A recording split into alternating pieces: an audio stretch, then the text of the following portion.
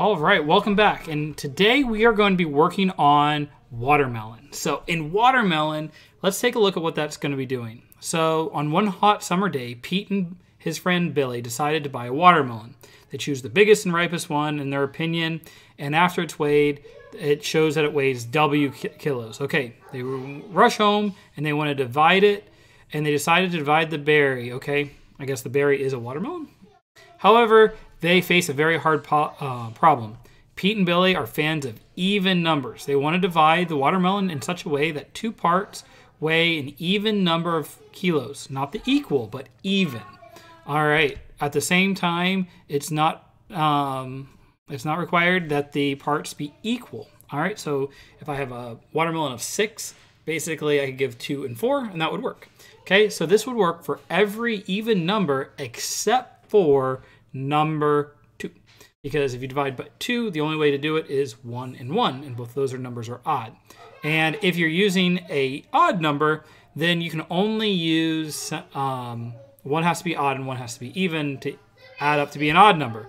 So in order to do this, what we're going to do is we're going to go over and type in our scanner. So scanner scan equals news scanner system.in. So when we do that, what we're going to do is we're just going to scan in the number. So int, and then we'll do weight equals scan.next int.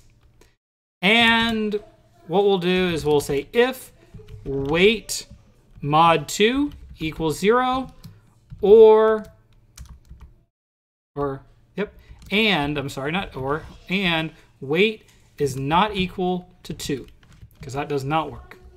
What we're going to do is we're going to systemout.println and we're going to press yes.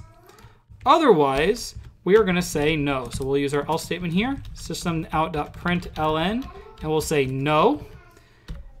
That should be good to go. What we'll do is we'll copy this value in real quick and we'll hit run. And we'll throw this in here like that. It says yes, that's the sample output. Let's see if this is correct. System copy, submit. And here we go. So it's in the queue, going on test two, test 19, and accepted. So, oops, that's not even mine. So let's go here to, um, we'll go back to the problem. It'll actually tell us either way.